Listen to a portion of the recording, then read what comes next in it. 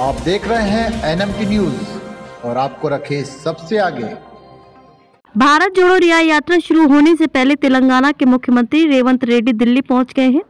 रेड्डी कांग्रेस के राष्ट्रीय अध्यक्ष मल्लिकार्जुन खड़गे के आवास पर यात्रा की तैयारी बैठक में भाग लेने पहुँचे। लोकसभा चुनाव को साधने की कोशिश मणिपुर से शुरू होने वाली इस यात्रा से कांग्रेस लोकसभा चुनाव में अपना फ़ायदा तलाश रही है। इसको लेकर रणनीतिक बैठक में आज सीएम रेड्डी ने हिस्सा लिया, जिसमें राहुल गांधी और केसी वेणुगोपाल भी मौजूद थे। पंद्रह राज्यों से गुजरेगी यात्रा। कांग्रेस अध्यक्ष खड़गे यात्रा को हरी झंडी दिखाएँगे और इस कार्यक्रम में पार्टी के शीर्ष नेता मौजूद रहेंगे। यात्रा पंद्रह राज्यों से होकर छह हज़ार सात सौ तेरह किलोमीटर की दूरी तय करेगी और 20 मार्च को मुंबई में इसका समापन होगा। कांग्रेस पार्टी ने शनिवार को कहा कि यात्रा एक वैचारिक लड़ाई है जो देश की सबसे पुरानी पार्टी, ध्रुवीकरण की राजनीति और सामाजिक, आर्थिक और राजनीतिक अन्याय के खिलाफ लड़ रही है। लोगों के लिए यह है यात्रा, कांग्रेस महासचिव जयराम रमेश ने कहा कि यह एक राजनीतिक दल की वैचारिक यात्रा है, लेकिन चुनावी यात्रा नहीं है। जयराम ने कहा कि जहाँ पहली भारत जोड़ो यात्रा नफरत और हिंसा की राजनीति के खिलाफ देश भर में प्यार और सद्भाव की तलाश के लिए थी, वहीं ये भारत जोड़ो न्याय यात्रा देश के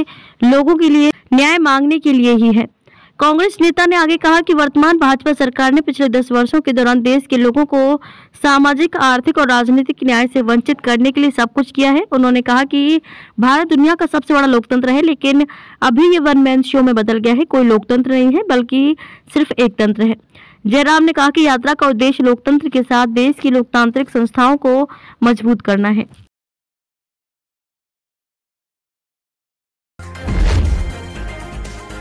आप देख रहे हैं एनएम की न्यूज़ और आपको रखे सबसे आगे